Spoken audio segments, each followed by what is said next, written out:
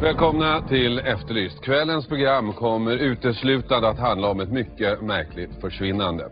Den här mannen, som lystrar till namnet Hörru Pajas, skulle gå ut och plocka svamp en helt vanlig fredagsförmiddag. Sedan dess är han spårlöst försvunnen. Vad har egentligen hänt? Ligger ett brott bakom? Vilken svampsort skulle han plocka och varför plockade han svamp? Har du information eller kanske har du iakttagelser som kan vara av intresse?